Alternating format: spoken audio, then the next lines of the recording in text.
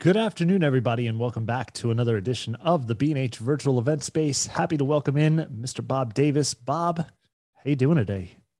Doing great. Enjoying this wonderful heat wave. You know, you got to love the change of seasons. I know you're getting it right after we get it here in the Midwest. I I'm gonna I'm gonna play devil's advocate and say I I don't love this heat wave. I'm I'm sitting over here. I know we were talking about it in the green room. You know, I'm kind of like Derek. I'm I'm trying to keep the AC off, and uh, you can't see it in my face right now. But give me give me till the end of this presentation. I'm sure you'll see all the sweat dripping down. It'll just make me feel like we're in the Sahara in Africa. You know, waiting for a cheetah to do something. There you go. I'm training. I'm training for for the for the next safari. That's that's a great training. way of looking at it. Um, so I do want to thank Bob for being here. I do also want to say thank you to our sponsors over at SanDisk. Uh, unfortunately, our buddy Pete couldn't be here today. He's got he's got real important things to do. He couldn't hang out with us today.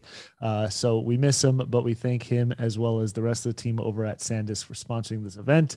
Uh, for everybody who isn't sure what you're doing here, uh, Bob is going to be talking about the importance of personal projects uh, talking wildlife and nature. So get excited about that. If you do have any questions related to any of the things that Bob talks about today and discusses, please by all means feel free to ask a question. That's what we're here to do is answer some questions. So if you're joining us on Vimeo or Facebook, you can use the comment section and we'll get those questions over to Bob. If you're joining us here on Zoom, you can use the Q&A tab and we'll answer them as well.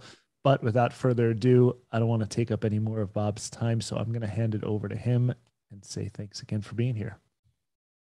Thanks for having me. I really appreciate it. And anytime I get a chance to share my knowledge and further the passion of the creative arts, uh, photography in particular, I'm happy to do it. I've been super blessed to do this my entire life. This is all I've ever done.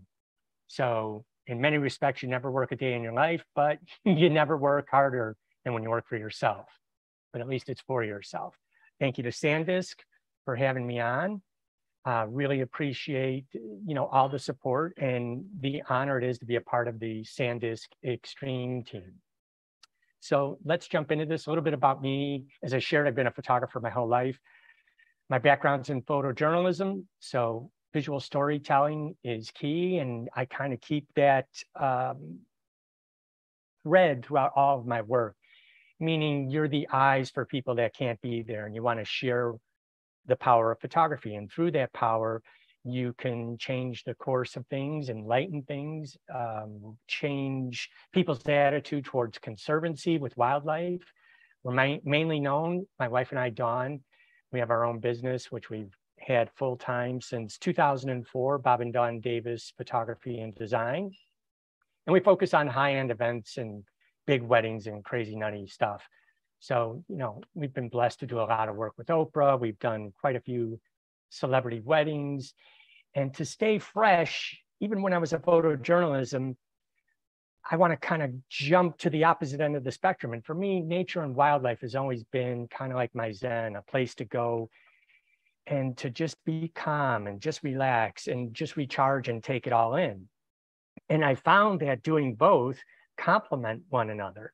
You know, weddings are their own wildlife uh, in, in their own right. You know, things are pretty crazy and wild, and you have to be prepared for whatever the day throws at you. So you wear many hats as as a wedding photographer, portrait photographer, documentarian, art psychologist, product photographer, commercial photographer, you do it all. And we roll heavy and we light everything. And the opposite spectrum of that with wildlife, it's so simple. You go out there, you do your research, you compose the picture and you wait. Wait for the animal, wait for the moment, wait for the light. And I find that so gratifying. But it also keeps you on your toes because wildlife, you can't cue the animals and say, okay, cheetah, run. You know, bird, jump off that branch. Eagle, get that fish.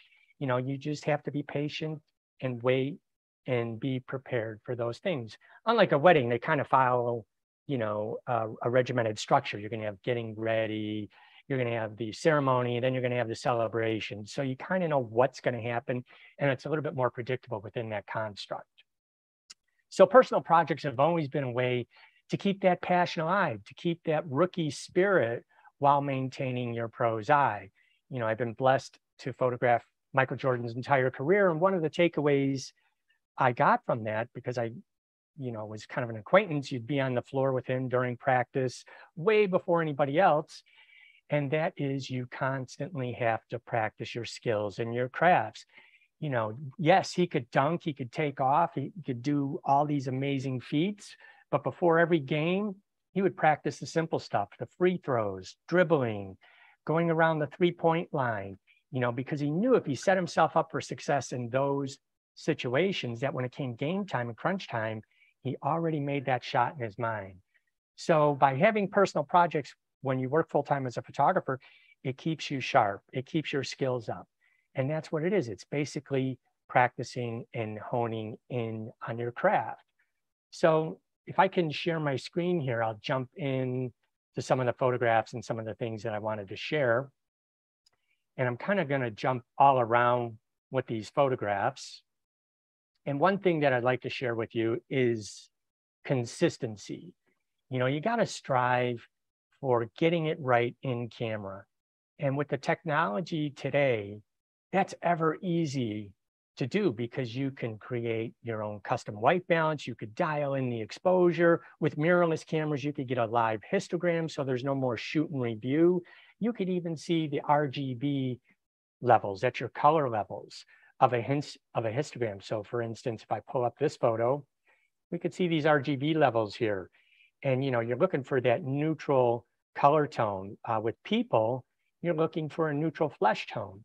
And this histogram is the same on the back of your camera as it is throughout the entire editing process. So the better you can get in camera, the better your output results will be. You know, and I'm I'm still a big fan of printing. For me, it's it's not a photograph until you print it. So, you know, we print for our clients, we print our wildlife, we have a fine print site. So that really brings this technology and this quality together where the proof is in the print. You could really see it there. So let's jump back out here. And again, if you guys have any questions, please feel free, to jump in, let me know.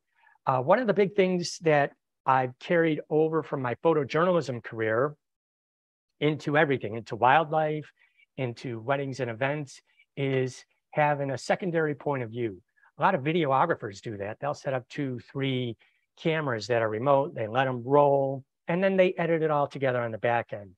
I do it a little bit differently, meaning I use a remote camera to get a different point of view, and I'll also use a remote camera to capture a simultaneous moment, but at a different point of view. So here's a quick example of setting up a remote camera in one of our venues.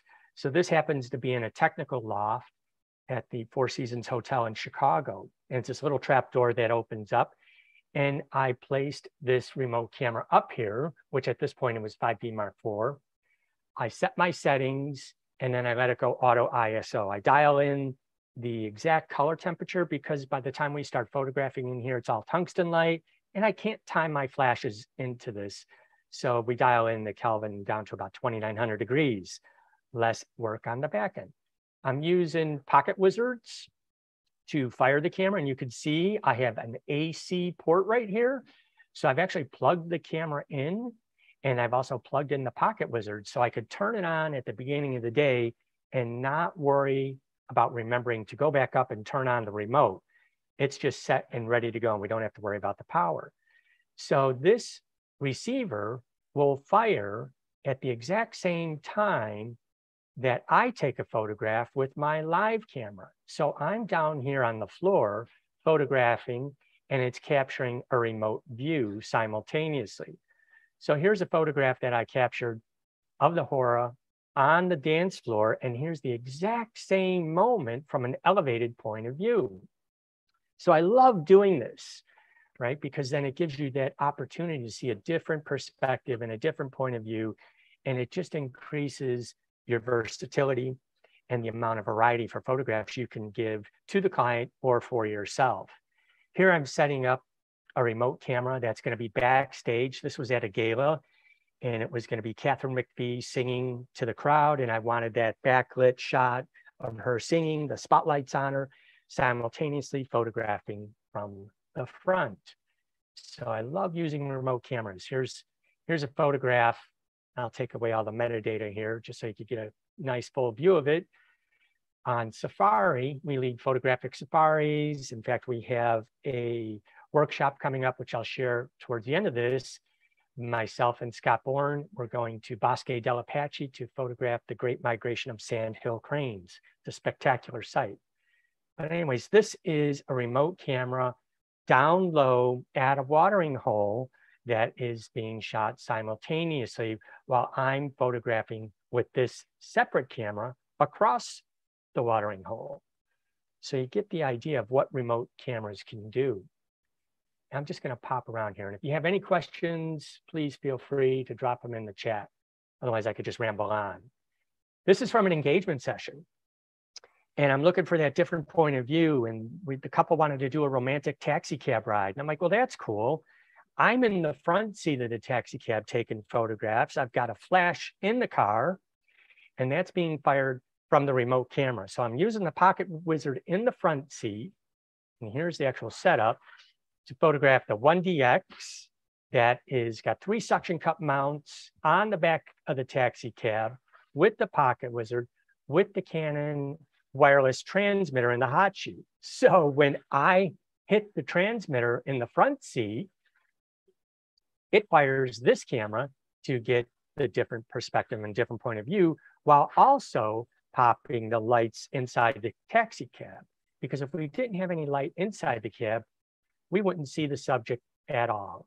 And just a point of reference here, I did use a polarizer filter over the lens to minimize as much of the reflections of the street lights and to eliminate a lot of glare so that we could see through the back window.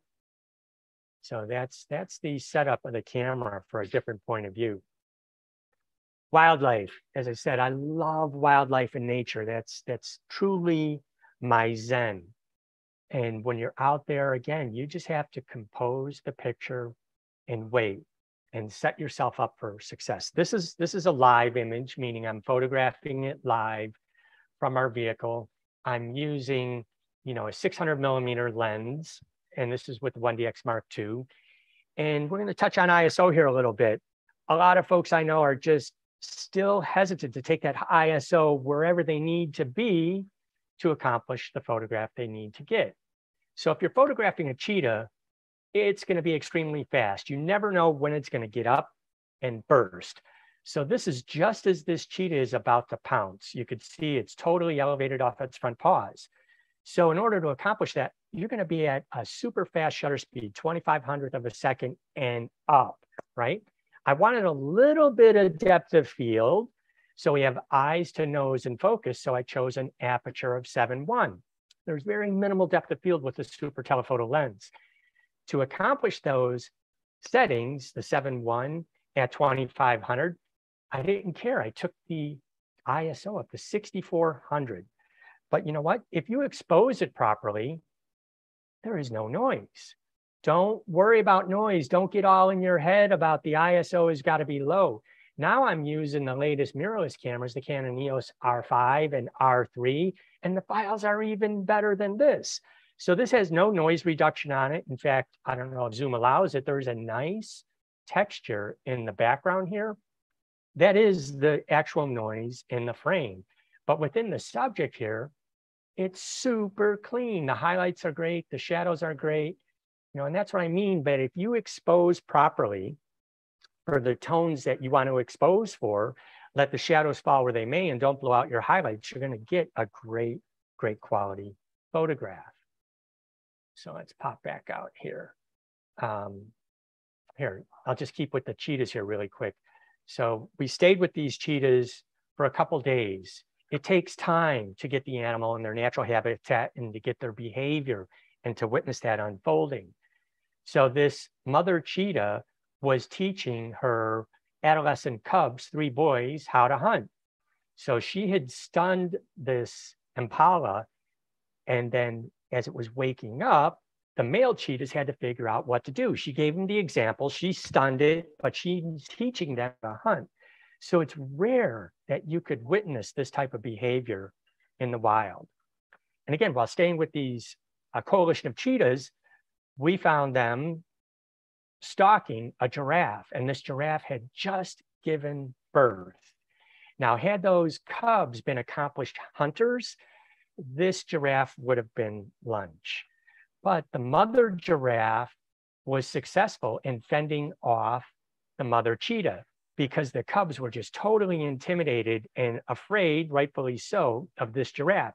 She swung her club, you know, just like a driver would on, on a golf club. And the animals know in the wild that injury most certainly could mean death. So what was so impressive to me was within an hour, she defended this cub, her, her baby giraffe. This mother cheetah tried for an hour after the birth to get this giraffe, but the mother kept her at bay long enough for this baby giraffe to get up enough strength and to run full sprint and full out. And we kept an eye on this baby giraffe. And after a week, we learned it, it survived. It kept its strength. And the mom was really diligent in protecting that baby giraffe. So that's what I mean. You got to stick with something and let the story unfold. Here's the uh, previous photograph of the mother actually running down this impala. And it's amazing to witness. Now we're in a Jeep parallel about 100 yards away, moving over land, and I'm hand holding the 600 with the image stabilization active, and of course the fast shutter speed, 32 hundredth of a second. I cut back on the aperture a little bit just to lower the ISO, but still it's 3200 and incredible, right? Just incredible. And the privilege to be able to witness this. Now, we go out to photograph wildlife, whether it's in your backyard, at the local forest preserve, or on safari. Respect nature, respect wildlife. If we were too close and this mother cheetah expended all this energy and didn't be successful in her hunt, you know, it could it could lead to starvation because who knew when the next opportunity could arrive for this animal to hunt. So work with credible guides when you go on trips like this, respect the wildlife, stay as far back as possible. So this is cropped in about 50% because with the 600, over 100 yards away, they're still a little bit small. So this is cropped in a good 50% to get this image. But cropping is what it takes to pull in the impact of the image. And that's exactly what you want to do. So I just want to pop back out here for a second and see uh, if there's any questions. I got I see there's a few in the in the chat here. Um, what kind of processing topaz do I do? We'll talk about that here in a second. And which is the line sites would you recommend to display my photos for possible sales? Um, I'm using art storefronts and I like them because it's a, a great platform for teaching you how to market. What I've learned is that it doesn't matter how great the photographs are if people can't see them. And so marketing is the key there and learn as much as you can about marketing. I'm going to go back to sharing the screen. And I'll go here, desktop two. So uh, really, really, quickly, just to interrupt, yeah. um, Mark, Mark did have a question related to uh, ISO. Uh, can you explain your usage of ISO? For sure, for sure. So um, let's pick another photograph here that's relatively IS, high ISO. And this is a recent trip. I led a, I'll call it a bear safari up to the northern woods in Minnesota. So here you're in the woods. I like it when it's a little overcast because the bears are so dark. And when it's bright sunlight, you get these really hot highlights. So you have a wide dynamic range. And that means you have to do a little bit more processing in the post by opening up shadows. But here the clouds came over and it gave us that nice cloudy bright sky. We're hand holding, right? Because you can't uh, be immobile in the forest because this bear was about, I don't know, 50 yards away. It's a big mother bear and these are her spring cubs. And I'm hand holding. So even though the cameras have in-body image stabilization, the lens has image stabilization, if you introduce any movement, meaning I get excited and I mash the shutter, or I'm moving to capture this image, or I'm backing up because I want to remain a safe distance away from the subjects, well, then we got to have a fast shutter speed no matter what the IBIS is. Because in body image stabilization, you still have to be steady and squeeze. So there is no monopod, no tripod out here. Because again, we want to respect the wildlife. So I know I wanted to be at 800 to a thousandth of a second because the bears, the cubs, actually fly up those trees rather fast. They can climb a tree faster than a cat. The mother bear teaches them that for safety. So there was a large male bear that we could hear coming through the forest. So I set my camera between 800 and 1000 of a second on the shutter speed. This is the 100 to 500. So at 500, right, we're going to be at aperture 7.1. So I know I'm going to need a high ISO. So I chose 5000 ISO.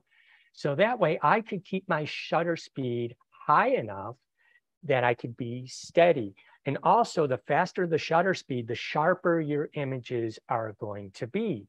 So this is an image at 5,000 ISO. Now I'm exposing for the midtones here. The trees are a perfect 18% gray. So I'm manual, meaning same light, same exposure. The light wasn't changing. It was cloudy bright. So once you're dialed in, you don't need to be worrying. Like even if it's a little bit brighter over there and a little bit darker over here, the tones are going to fall where they should fall appropriately.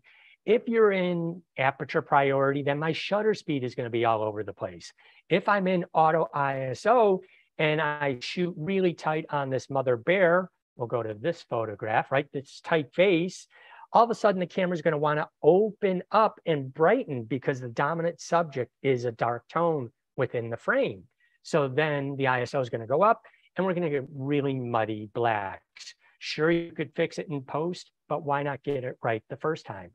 So that's why same light, same exposure, to borrow a phrase from a colleague of mine, Charles Glatzer, Chas, and he's been on B&H a lot. He's a Canon Explorer of Light, and his primary focus is wildlife. And mine is weddings and events, but to stay fresh, I migrate. And that's probably going to be the direction I'm going to go once I retire from weddings and events. But sticking with ISO, as long as you expose properly, meaning you're not two stops to the right, overexposing, or two stops underexposing, you're going to great tones and no noise. So here's 100% zoom.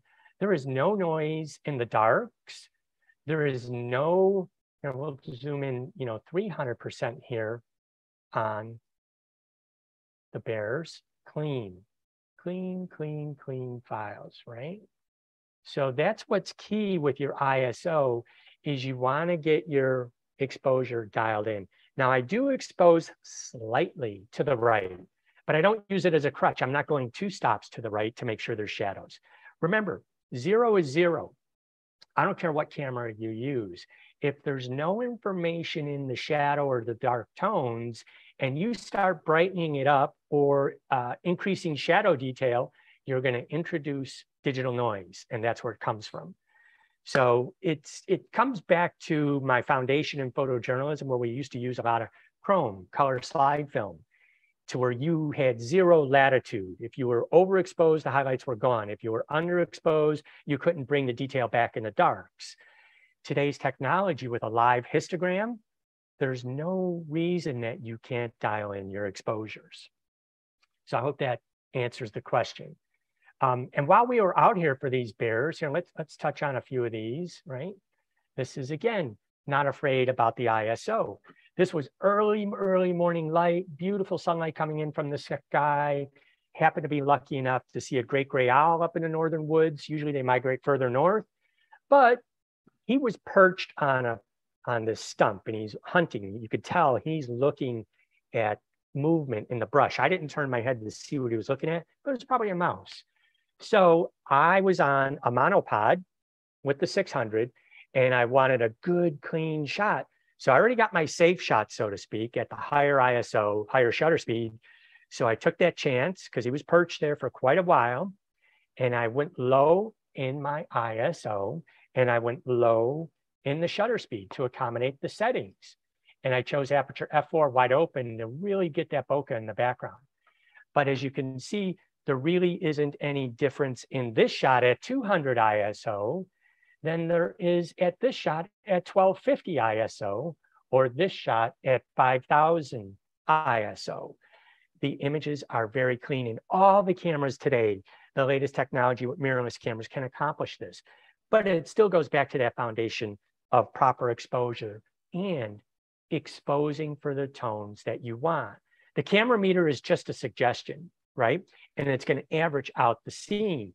But my priority here is to make sure we have, yes, detail in the dark tones, but still retain that richness, right? So you want to meter off it. You could spot meter if you chose to, right off the bear, and then go spot maybe minus one and a half to keep the dark tones, or spot meter right off the tree and set your meter right on the tree. That's 18% gray and set it and leave it. Same light, same exposure. Talking about remote cameras, and I'll flip over to the other camera here and show you how I set this up. There was a creek in this area that had a log going across it. And I had seen in my peripheral vision bears crossing the creek. Well, if I'm over here photographing the mother bear and her cubs, I can't be over there to get that shot of the bear going across the log. I did go sit over there for about an hour, and of course, no bear across the log. So if you shoot with two eyes open, you set up a remote, then every time I take a picture with my live camera, no matter where I'm looking and focusing, this is just going to shoot. So that increases my odds, whether there's a bear there or not. And yes, I did get a lot of, we'll call them junk frames, like you see here. So the images, there's no bear. But then you, excuse me, you get lucky and you'll get a shot with a bear crossing the log. Uh, let me see if I put one in here. But I did get the shot of the bears crossing the logs. Um, let me pull that up real quick. Just, I don't want you to take my word for it. Here's my Lightroom catalog. It's in my Lightroom. Um, I see there's a couple more questions. If you want to throw them at me while I'm opening this, be happy to take them. You got it. Now, Ted wanted to know um, what AF zone size do you use for something like the bear? Sure. Great question on AF zone. So um, when I switch to the other camera over here, I'm going to go through that a little bit. But what I do is I have on all my cameras that are set up the same, whether it's the R5 or the R3. So I have the asterisk button set on here that I will cycle through a precision point, a five point, the center box that I can move around, or eye tracking, and it'll cycle through all of those. So depending on what the animal is doing, I can quickly go through that. And I do that for event photography as well. So if I'm in a situation where I, like the mother bear, and I can't see the face, well, then I'm gonna put the zone bracket, right? because I don't want it looking for highlights. Because even though you might have eye tracking active, it still works off of highlights. And if it can't find a face or an eye, it might jump to the tree because that's the brightest tone in the space. So here we go. Here's the, uh, let's pull these up, right? So here's the shot of the um, remote, from the remote camera of the log. Now here's the bear going across it, right? And these are not toned yet. These are still raw. I'm still working on this project. And I saw that out of my peripheral vision. And here's the Cubs following along, right? So that's my remote camera capturing that, you know, because I wasn't there live. Now, the second day I was there, I set the camera for a wider, you know, so I could take in more of the environment. We were up there for three days, right? Never once, though, I was hoping for a bear to walk across this closer log, but I wasn't lucky enough to get that, right? But I was able, here's one that's toned. So you get the idea of what can be done with your remote cameras, which is just increasing your odds for productivity and different point of view. So let's go to where I set that up, the remote camera. So I was using a platypod and I'll show you how I set this up on the other camera with the platy ball head because it's super easy to level it. I strapped it to a tree so I didn't have to worry about leaving a remote out there. Bears are super curious, as most animals are. And if it was on a tripod, They might go over and knock the tripod or grab the camera and walk away with it. But a tree, they're kind of used to seeing what that is. And again, the advancement in technology, the camera's in silent mode, right? Boom. I pre-focused out there. You know, I set my shutter speed at 200th of a second because they're not going to run across that log. They're walking aperture eight, and I let the ISO go auto because on this day, the light was changing between sunny and cloudy, sunny and cloudy, and it's a remote camera. So I'm using Pocket Wizard Plus fours now, and I'm using that as the receiver, they're transceivers, and I plugged the cable into the R5, and I chose the R5 for the remote camera because it's a 45 megapixel sensor. And if I want to crop in on any of those images, it gives me a more latitude and a nice beefy file. I'm using an L bracket so that I can have the um, platy plate mounted to the tree with the strap and be right on the side of the camera because the ball head only moves a certain degree, right? So we wanted to set that up. Here's the transceiver that sits on top of my live camera. And every time I take a photo, it fires the remote camera. So like I said, you have to do a lot of editing of junk files, but it's worth it when you get that one shot, right?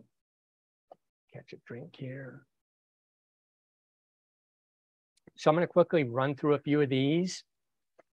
As I as I shared, um, maybe we could put this in the link. I have a workshop coming up to Bosque del Apache. This is going to be the last week of November, first week of December. And it's just an amazing thing to witness and to see the this blast off. So here's what happens at sunrise. You have tens of thousands of birds. It's like someone blows a whistle and cues them, blast off. And they're blasting off to go out to the fields after roosting in the water overnight. They'll fly in, thousands of them, they'll roost in the water, and they roost in the water for safety and their safety in numbers because there's there's bobcats here, there's coyotes out here, there's wolves out here, there's mountain lions out here. So in the water and their safety in numbers. But just as the sun starts to rise, they do this amazing blast off and they'll fly around. So it's just an amazing place to witness this, this activity. Here's again using remote camera for a wide shot point of view, right? I just have it clamped to my tripod because I'm photographing with the 600 to get a tight shot of the birds as they're uh, flying off in great mass. And then I look for those storytelling elements. Once the birds fly off into the fields, they're grazing and they leave uh, corn and soybeans and stuff in this wildlife sanctuary for them to feed on. Then you can park yourself there and hang out all afternoon and get great close-up shots like this. So this is a 600 millimeter lens with the 2x. So it's 2000th of a second, because even though I'm on the monopod, I want to minimize any motion that I might introduce. So I want it to be sharp and still. And then if this bird decides to run and take off, right, we're going to have a sharp photograph. There you go. This is at 1200 millimeters and he's running to get his takeoff. If I took a chance and kept that shutter speed down low and I'm trying to react, turn it up, we'll miss the moment. So here's the run, and then there you go. You stay with him. Here's the launch. Now for these, we'll talk about focus again. Here, if it's kind of a portrait situation, you could go with eye tracking, right? And it's a clean background, not a lot of distracting elements. As that crane started walking in toward the masses of other birds, I didn't want the eye tracking jumping back and forth to other birds that might be in the vicinity. So here I went to the zone the box, right? And I kept moving that with the touchpad on the back of the camera to keep that box right on there. And then you could activate eye tracking within that square. So now it's going to track only what is within that box. And I was able to keep it right on the eye from approach to takeoff through flight. Now, when birds are flying in at me, I quickly hit that a, the asterisk button and it cycles through to my eye tracking. And there you go. It, it just perfectly tracks. It's just outstanding what the capabilities are for eye focus and tracking. And if you're keeping an eye on my histogram, right? Um, of course, the tones out here are very warm. It's early in the morning. So I do set my white balance manually, meaning I go into Kelvin and I dial it into the warmth that I want. So most of the time when I was outside here, it was 6,000 degrees Kelvin. And if we wanted to do something early, early morning, right, I can take that Kelvin up higher. So this was daylight white balance on the remote camera on my tripod. And then probably we'll look at the time here. Uh, so this was a little bit earlier when birds are flying in. The sun had not come over the horizon yet. I set the Kelvin white balance in camera to 10,000 degrees to give that kind of bland sky a lot of warmth. And then, excuse me, as the sun starts to rise, you go through the pink hues and the warm tones. So you have that control all within camera. And again, you're being ready for opportunity that presents itself. So that while there's a lull in the action in the birds, you look for wildlife. So there were deer. Here's another feisty little bird. One of my favorites is a kestrel, super fast bird. So it's about the size of a robin. And I kind of have this philosophy, smaller the bird, the higher the shutter speed. A raptor, you know, like an eagle, like this shot, you know, you don't have to have that high of a shutter speed. So usually I'm around 2000, 2500, 1600th of a second for eagles because they move slower. But the smaller birds, such as this kestrel, come back down here. Like I said, it's about the size of a robin. Well, they're super fast. They cut and they dodge and they weave and their wing beats are super fast. So knowing this, you got to go at a higher shutter speed. And to accomplish my aperture eight, again, I want from wings to eyes and focus. You have to kick that ISO up. So whatever it takes to accomplish that goal is what I'm going to do. So I'm going to stop sharing my desk here and we're going to talk about the remote camera. I'm going to pop over here, make sure my uh, secondary camera, the R5 didn't go to sleep, wake it up. And while, while, you're, while you're doing that, um, yeah. Ted, Ted did ask um, if you can uh, remind us what the website to register for that Bosque trip is, and uh, if if you let us know, we can even we can link that in the chat. Yeah, for sure. Um, let me copy the link right here because it's a crazy link like they all are. And I'm going to pop it in the chat. There you go. Excellent. In the chat there. All right. So I got my back to the camera. You guys, yeah, you could see me, right? There we go. There you I go. can hear you. So here's kind of like my remote setup. Whether, again, it's going to be for a wedding, wildlife, a low camera point of view, I absolutely love the Platy plate because you could mount it anywhere. It has the mounting straps. You could even put it on a little light stand. And the Platyball is awesome because you can use one hand to maneuver it. And I've got it set super tight so the camera doesn't move. So while I'm loosening that, right, then the ball, should use my thumb, stronger. Then the ball head could move any which way. So for those bears, I had it mounted to the side and I couldn't quite get it level with the camera this way because it was bumping up against the tree. So that's why I used an L bracket. So you use Arca Swiss plate on the bottom and then we just tighten this up and then you lock it down, right? So it's locked in place. So it depends on what you're going for with your remote. If I'm doing remotes for people, like sometimes I photograph uh, couples arriving to a wedding by carriage, and I'll mount this remote camera on the carriage rail. I'll have it for people tracking, not animal, eye and face detection. So if they move about in the carriage, it will track them. Same thing, I will still use the Pocket Wizard Plus 4s. I love the low profile, the newer ones, and I love that they have a hot shoe pass through. So if I need an on-camera fill flash, I can activate it and my EL1s will still give me full functionality. Also, for weddings and events, I use the plus fours as a backup. Just note that weddings and events, you're communicating with uh, any wireless flash, it's gonna be on 2.4 gigahertz. so is everything else in the room. So if you run into communication issues and your wireless flashes won't link up, you need a, a backup plan. And my backup plan are these plus fours. So I could use my flashes off camera, only in manual mode, but you do have four groups. More on that later. So let's stick on firing the camera remotely.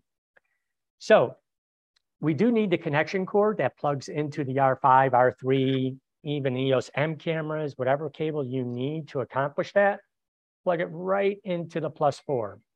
Once this is active, there we go, it's on. On the background, you can see we have four groups, A, B, C, or D. So we could set this camera in one particular group or not set the group at all. So if I'm using four different cameras. I could have one in group A, one in group B, one in group C. Then I could use my primary camera, like I was with those bears. It was the 100 to 500 because it's just a great range. The image stabilization is great. Yeah, you do kind of have a little bit of a drawback being 7.1 aperture at 500.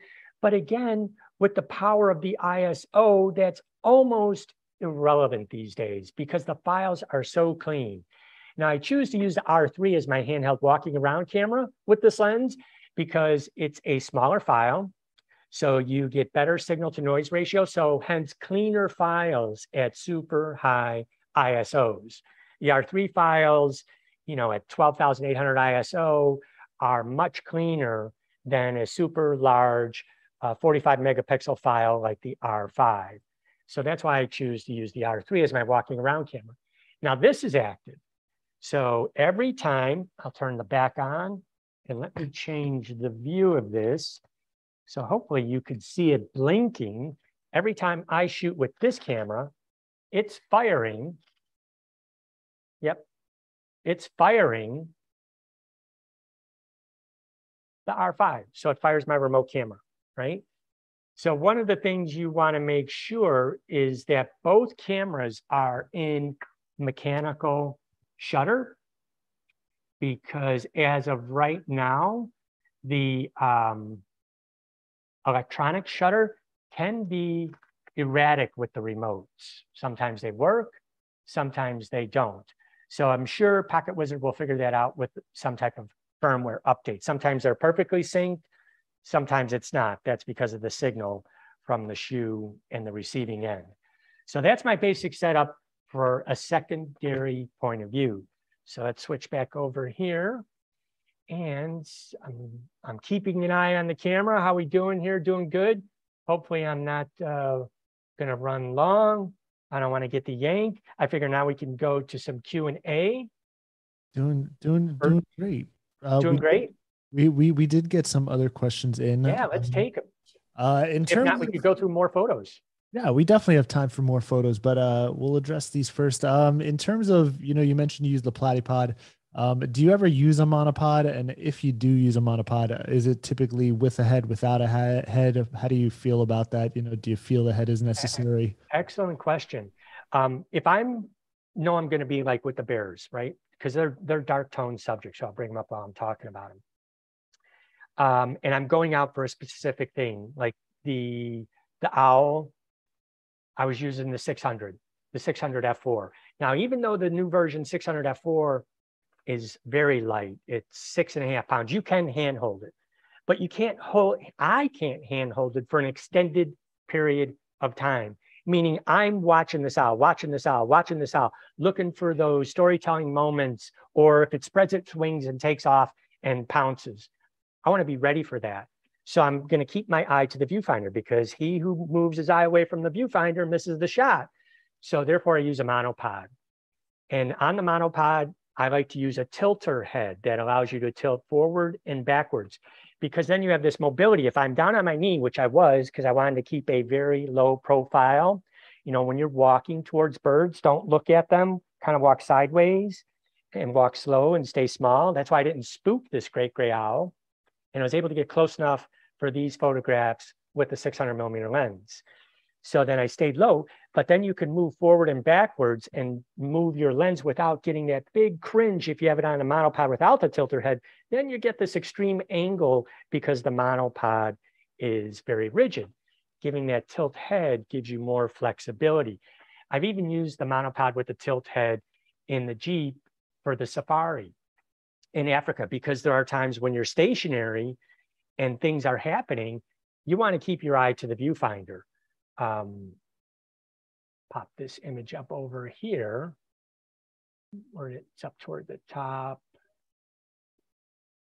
This guy here, the lilac breasted roller, you know, it was sitting on this branch. Just uh, that's and, that's. oh, I got to. Sorry, I got to get to sharing the desk. Right there we go. Thanks. Screen share. Um, here we go. The there. lilac breasted roller was sitting on this branch. So any bird is going to repeat itself if you don't spook it. Whether it's in your backyard or not, they're going to perch on a branch, fly off, catch something, come back and perch if it's a good perch. And if you're still and quiet, they'll repeat this pattern. So I had plenty of photographs of the portrait. Now I wanted the shot of him spreading his wings because that's when you could see all the colors and just as he burst off. So that means you're constantly keeping your eye to the viewfinder and that's where the monopod is invaluable. Or if you're in a space where um, you could accommodate it, like with eagles and things along a river or uh, these pelicans and things, I will use the tripod, right? So for this shot, I'm photographing pelicans in rapids up at the Canadian border with Minnesota. So I used a tripod because then it could be ultra steady. I could switch between video and stills, and I could go to an extreme slow shutter speed to show the blur in the water. A monopod would not allow me to do this because I'd still get a bit of that back and forth motion. I couldn't be at one eighth of a second to allow the motion of the rapids. Now the pelican held still, right? So it worked out amazingly well. He's holding still, watching for fish, and you want to convey that motion of the water. So that's why I chose to use the tripod in this situation, right? Here, I'm handheld. I was able to find an elevated position up on some rocks and the pelicans would fly up the rapids, land, because they have to paddle like crazy to keep their headway in the water. And then when they get tired, they would drift down to the lake that this rapid fed into. And then he'd repeat that process again. So I was scouting around, looking around, like, oh, wouldn't it be amazing if we could see the pelican flying from above? And there was an outcropping of rocks that we could get to. And this is handheld and panning with the pelican you know, here's, here's another vantage point where you're using a tripod for stability to use and capture landscape photographs. But we needed the tripod to choose a low shutter speed to convey that motion in the water. So I use both, right tool for the right job. And I happen to love Pro Media gear. I know you guys carry Pro Media gear. Um, I, I was a user of Pro Media gear long before they invited me to become an ambassador. And in fact, that's that's the same way I became a part of the SanDisk team is I believe in using a product, learning the product, and if it works for you and it performs and it doesn't get in the way of you capturing the photograph, then that's an excellent product, whatever it may be. And then I'm happy to work with them. Pocket Wizard, you know, maybe someday I could be a Pocket Wizard ambassador. But I've been using Pocket Wizards since 1992 when I was photographing, you know, the Chicago Bulls, Michael Jordan, and I'd have a remote camera underneath the basket. So time for a few more questions. Up, oh, we're, we're running right up against the clock. So we got we got time. Don't worry. No need to rush, Bob. We're not oh, no, going. to You, you scared me at the beginning there, and I was going. Danny was going to give me the hook and right off. No, we're not going to yank you out of here. We we we like we like what you're talking about, Bob. it's it's if you don't that we you got to be concerned. Now, Sydney wanted to know um, just a little bit more of a technical question. Yeah. Um, she's getting extreme noise at ISO 6400, trying to capture birds in flight using her Canon EOS R. Uh, she's using a 1.4 extender extender with the RF 100 to 400 f8. So basically comes out to be an F11. Sure. Uh, if she's got to increase her ES, uh, ESO, geez, Bob, I think this heat is getting to me finally. I hear you. Uh, if she's got to increase her ISO to get a faster shutter speed, uh, Canon said that she's using the wrong setting, but why would she be getting more noise using those settings if the mirrorless cameras are capable of capturing much cleaner images at higher ISOs?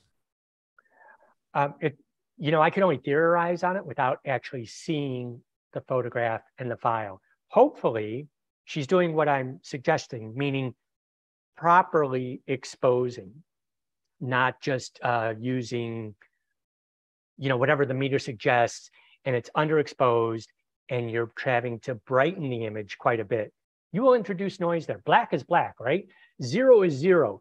So if there's very little to no information there, and the minute you um, brighten that area, you are introducing digital noise because you're trying to put something where there is very little detail.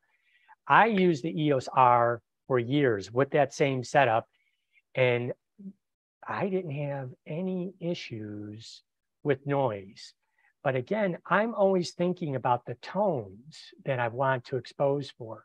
Let me see if I have, I don't know if I have any, uh, uh this Safari was an R.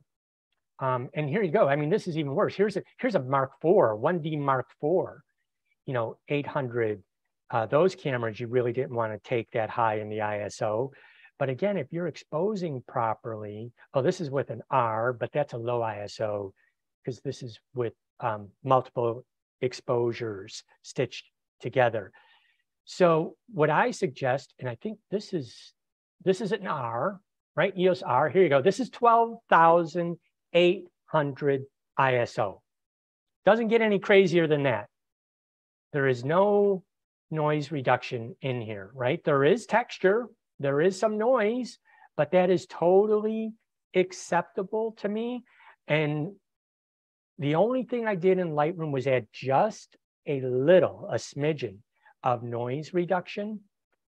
Um, programs like Topaz Denoise, I think, do a far better job because they'll clean up the noise without softening the photograph. And if you also have photographs, which I have had, um, where I'm moving and I'm taking it, even though I'm using a fast shutter speed, so we'll just say a bird in flight, like this one, it's, it's blasting off, right? There'll be some times where I'm shooting at a high frame rate, high shutter speed, and you'll catch the IS elements slightly moving what I mean by that is it'll look like there's some vibration around the eyes or around the wingtips and your shutter speed's high enough and your ISO is on. What you're doing is you're actually freezing the motion of that moving element, especially with the high frame rates at 14, 15, 30 frames per second. Odds are you're going to catch a frame where that element is moving. And that's where Topaz AI Sharpen comes in beautifully. It'll take that little bit of vibration and correct it.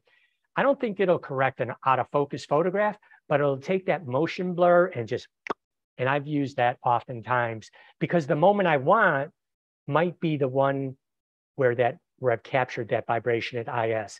Now there is the school of thought that you could turn the IS off when you're using a super fast shutter speed for birds in flight.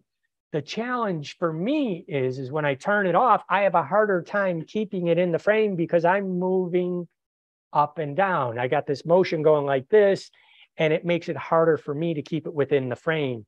So it's that trade-off. If you're usually above two thousandth of a second, it could be an, a better idea to turn image stabilization off. Then you won't catch those floating elements if you're really good at keeping it steady within the frame. Because if you're not, then IS helps keep that image very nice and steady and it allows me better tracking with the photograph.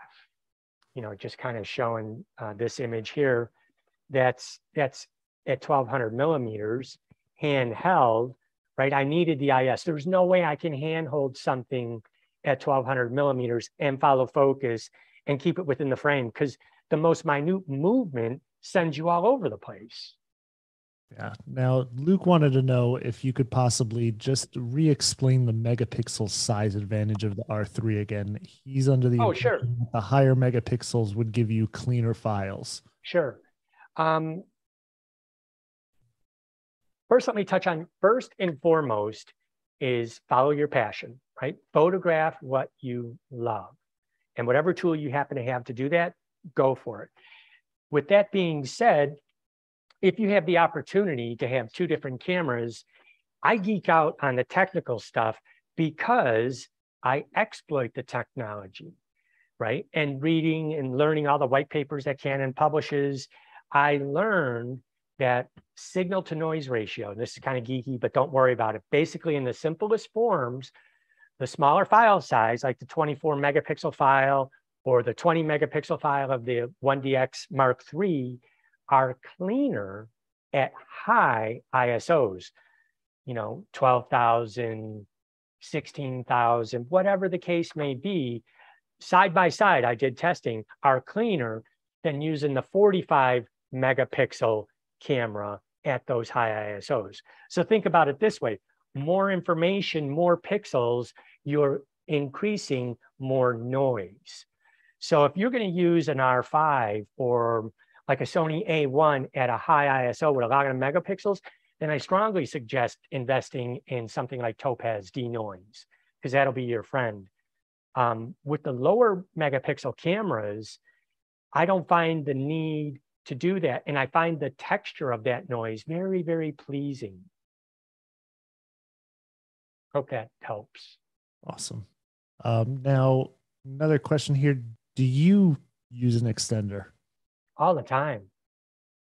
Simple one, easy. But use whatever lens you're using, use their matched extender. Don't if if you're if you got a Canon lens and you put some inexpensive aftermarket extender on it, it's not optically matched. Canon, Sony, Nikon, they all designed that extender in mind with the lenses that it's going to form and function with. So you're minimizing any loss.